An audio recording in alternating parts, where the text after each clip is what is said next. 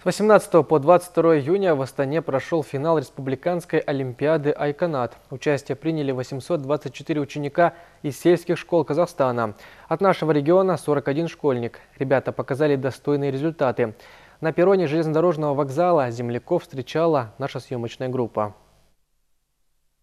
Диане Сагандыковой 14 лет. Учится в селе Бесколь. Любимый предмет школьницы – это математика. Не случайно участие в Олимпиаде она приняла по этому направлению. Прошла три тура и выиграла грант. Э, узнала я об Олимпиаде в школе. Меня позвали на Олимпиаду.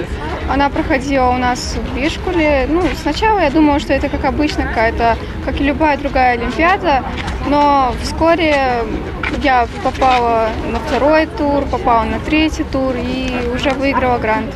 Республиканская олимпиада «Айконат» проходит ежегодно. Проводится по общеобразовательным предметам для учащихся восьмых классов. Четыре финалиста из Североказахстанской области выиграли грант в школу «Айконат». Республиканская олимпиада «Айконат» состоит из трех туров. Первый тур – это тур, в котором принимают участие все э, желающие восьмиклассники сельских школ страны. А в этом году их зарегистрировалось более 40 тысяч, и в районных центрах прошел первый тур Олимпиады. На втором туре Олимпиады принимают победители э, участия второго тура.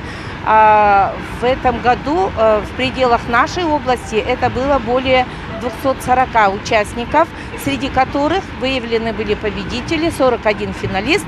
Вот они как раз стали участниками финала третьего тура. Всего же гранты в школу «Айконат» получили 110 участников из 824 финалистов. Лаура Рагимова, Михаил Казначеев, служба новостей.